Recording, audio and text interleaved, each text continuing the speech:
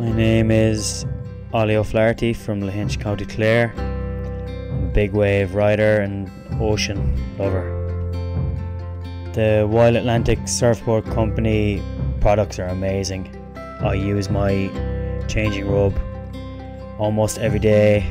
It's super warm, keeps the wind and the rain off when I'm getting changed in horrible conditions, and makes me want to surf when the weather's really bad. I see Irish surfing just getting better and better. I think our standard has risen, especially when it comes to heavy waves. We can surf our heavy slabs and big waves just as good as any of the international guys, which is a pleasure to see. And I think our performance surfing and just quality of waves, it's inevitable that the next generation are going to be just that much better.